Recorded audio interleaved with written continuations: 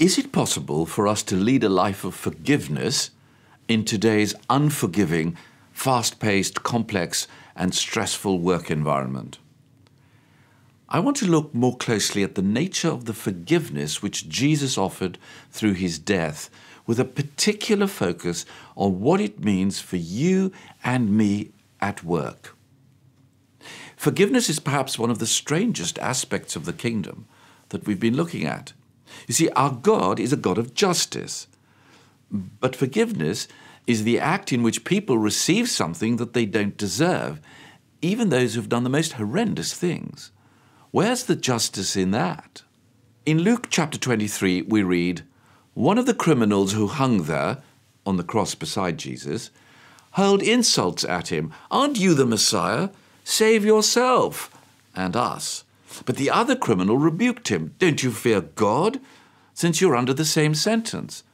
We are punished justly, for we are getting what our deeds deserve. But this man has done nothing wrong. Then he said, Jesus, remember me when you come into your kingdom.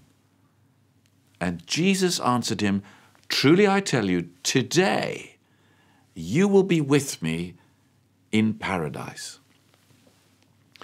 The story in Luke is a story about three crosses, not just one. There was the cross of rejection, the cross of repentance, and the cross of redemption. It's an extraordinary story that illustrates the extent of God's forgiveness. Let's look first at the cross of rejection. One of the criminals who hung there said to him, Aren't you the Messiah? Save yourself and save us it comes across as a cruel taunt. Jesus had come as the Savior of the world, and yet here he was hanging on a cross. In this criminal's eyes, that was a failure. A Savior was meant to save others from harm. It never occurred to him that perhaps a Savior could save people from themselves. All he wants right now is to get down off his cross this robber at that moment was wanting to gloss over his transgression. He wants a miracle. He just wants something to happen there and then. He wants a quick fix. But God's not moved by our railing, He is profoundly moved by our repentance. When we turn from our sin and say sorry, when this happens, His forgiveness is irresistible. But the second criminal gets it he gives the whole gospel in two sentences. Don't you fear God, he says to the first criminal, since you're under the same sentence. We are punished justly, for we're getting what our deeds deserve, but this man has done nothing wrong.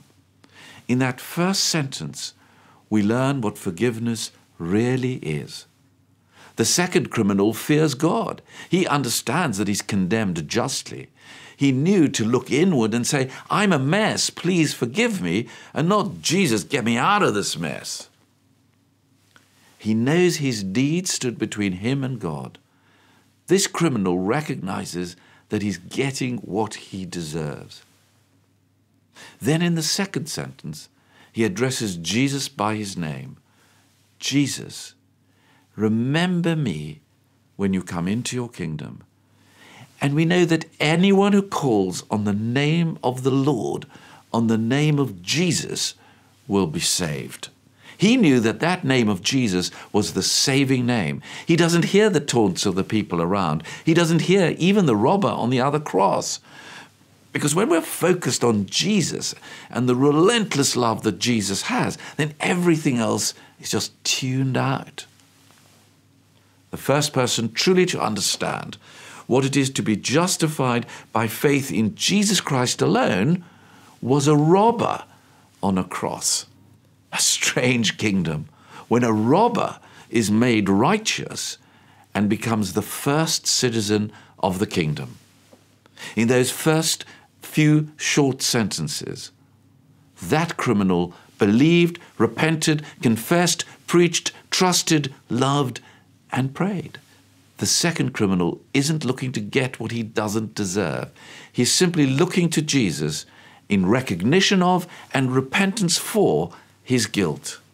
He asks only to be remembered But Jesus gives him so much more. Today you will be with me in paradise.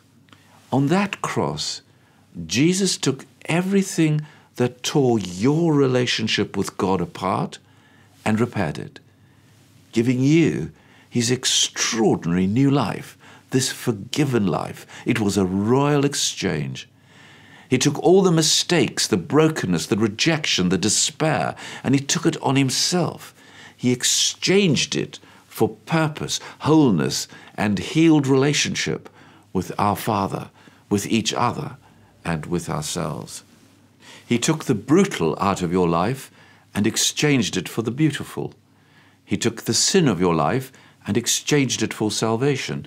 In short, his forgiveness cleared the slate. Through our sins, we deserve death. But to those who repent, he forgives and gives life. Be like the second criminal and not the first.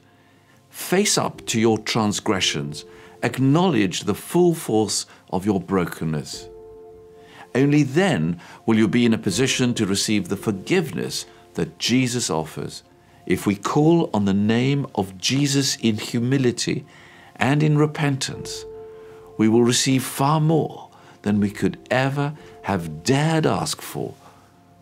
What a strange and beautiful exchange.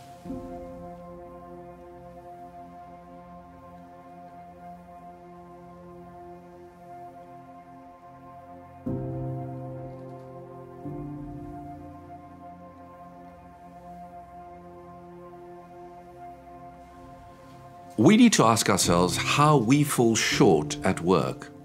Are we ready to forgive and to follow the example of Jesus in the harshness of the workplace? Jesus forgave at the first time of asking. Remember, you can come to Him today just as you are. Let's take a moment. There's power in confession, in laying down our sins before the Lord and turning from them. Take a minute to think about your own situation at work, when you snap under pressure, when relationships break down through no one's fault but your own, yet you try to justify yourself, when you focus on your own career progression rather than your colleagues around you, when you act without integrity. Take this time to confess your sins, to lay them before the Lord, and to ask for forgiveness.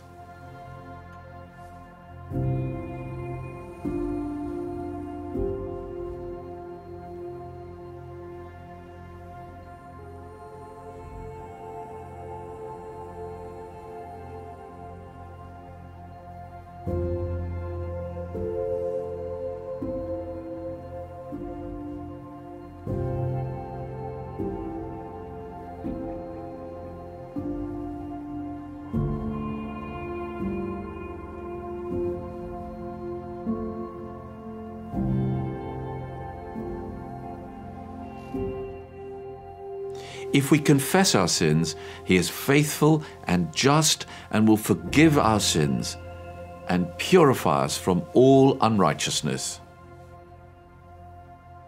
To walk in this freedom, two things are needed seek the forgiveness of Jesus, don't delay. Jesus says, today, not the future. So turn again to Him right now and respond to His forgiveness by setting the relationships right with colleagues at work. I know it's hard, but it's a small response to His relentless love in forgiving us.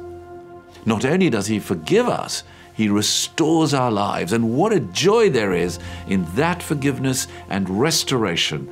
It's a beautiful exchange.